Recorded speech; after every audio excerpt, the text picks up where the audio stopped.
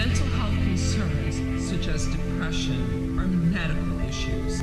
As with other medical emergencies, recognizing the warning signs for suicide can help us to intervene and save a life. A person who is thinking about suicide may say directly, I'm going to kill myself.